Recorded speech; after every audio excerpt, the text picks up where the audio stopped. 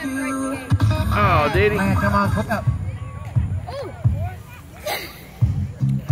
That's all right. He'll catch you up. Ethan Horn, Carson Bartrand. That's going to be Carson Bartrand holding it down in that one spot. That gunner catching up. Holy crap! Man, if he would go that Go, fast. Jimmy!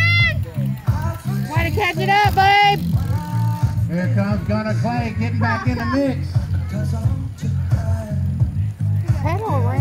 What did he slow down for? He had it. They slowed down in the corner and he slowed down too. He had it.